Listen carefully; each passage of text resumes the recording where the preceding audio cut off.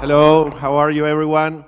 Thank you for joining us. Um, so I'm Pablo, as Juan David said, and I'm going to talk about client diversity. So um, this is the clearest image of the universe uh, that it was taken by Telescope uh, Webb like three months ago. Uh, so imagine if instead of this, the universe will be like this uh, with a lot of black holes. Doesn't make a lot of sense, right? Well, that's, that's exactly how we humans collaborating in the Ethereum validation of the network are working together. Like uh, most of the nodes uh, worldwide are in Europe and in the US, and very few in other regions. So for geographically decentralization, it's super important from all of us to, to make sure that we collaborate and make a better network together. If, if you go to ethernodes.org, you can see that in the top 20 uh, countries, you know, number one is the US, and there's no single country in Latin America or in, or in Africa uh, as, as, top, uh, as top 20 in, in, in nodes in the, in the regions. Then we have a second um, centralization point, which is with client.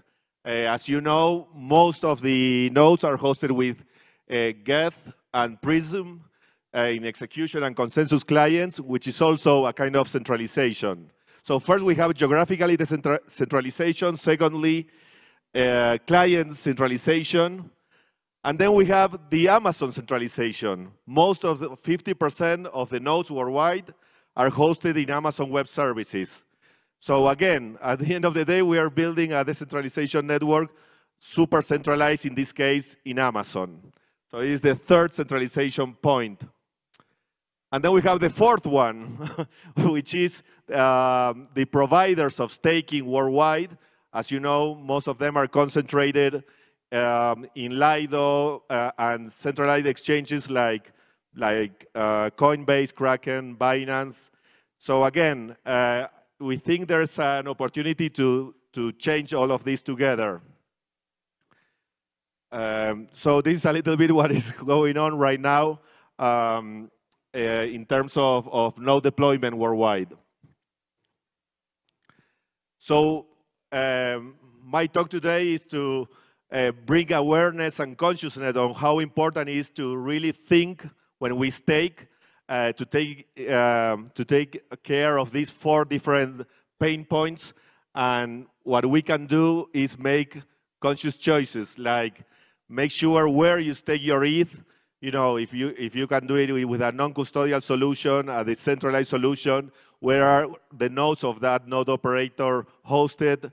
Um, diversified jurisdiction is also super important. As you know, what happened with Tornado Cash a couple of months ago in the US. So again, diversity is so important here. Also with hosting providers um, and execution um, and consensus layers. So what we are doing, uh, last minute, what we are doing from Sensei Node, we are the first and only node operator in Latin America. So we just launched a smart contract, uh, a non-custodial solution where anyone can uh, deploy a node in the region. So basically, you just uh, connect with your MetaMask wallet, and you can send 32 ETH and have your node uh, in Latin America helping diversity of geographically diversity, also data center diversity. In Latin America, the data center industry is super fragmented, which means that there are a lot of local and regional providers. So we work with all of them to make sure uh, uh, we promote decentralization. So with that smart contract, a certificate of deposit, we are giving an NFT where you have your 32 ETH plus uh, all the rewards generated, and it's also the liquidity to, that can be sold in any NFT marketplace. So this is our approach to decentralization and how we want to help. Um, so yeah, So now, thank you very much, and I'm happy to be here. Thank you, Pablo. We have three to four minutes for any questions. Why is important diversity, client diversity geographically and in general? Uh, good day. I only wanted to know that you can't you, uh, unite all the validators to the Lido or Coinbase because Lido is different validators and Coinbase uh, don't share who is the subworkers for uh, validate the Ethereum 2 nodes. So on your slides, Lido is like 29%. Mostly it's like more than 30 different validators there. Inside Lido, you say? It's not a Lido, it's like unity of independent validators.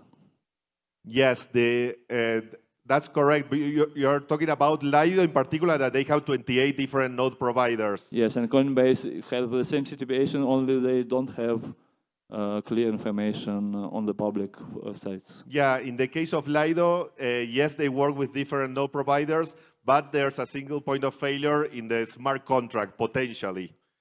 Yeah, but you, okay, okay. But I think that this screenshot that is on your presentation is not correct. That is only my note. It's taken, which this one? one? This yes. one? Yes. Uh, it's taken from Huh? June, sorry.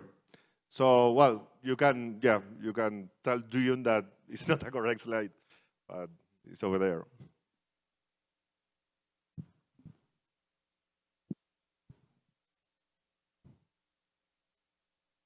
Hello? Oh, nice. Hi, thanks so much for uh, this talk.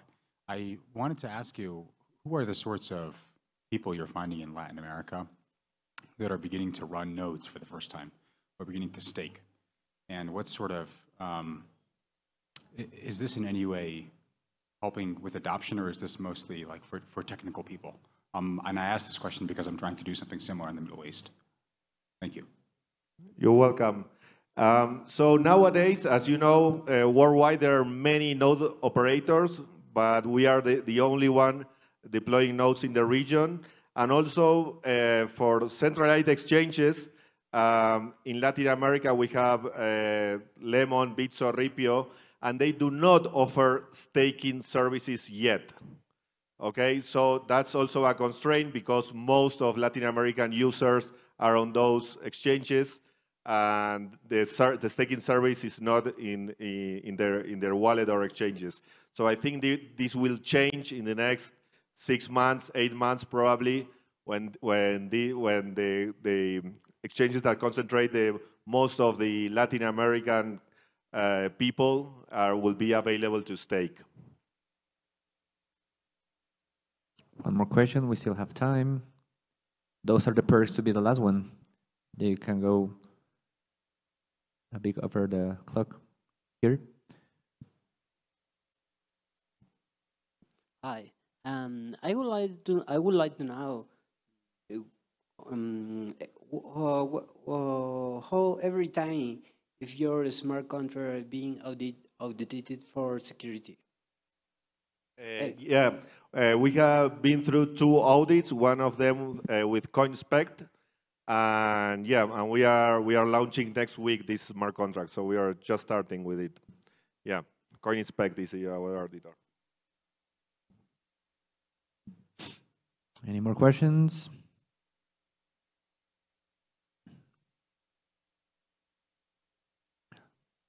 Okay. All right. Pablo, thank you so much. We need to improve that map to have more points below. Absolutely. Thank you, Juan David. You're welcome. Big round of applause for Pablo. Thank you. Muchas gracias. Thank you.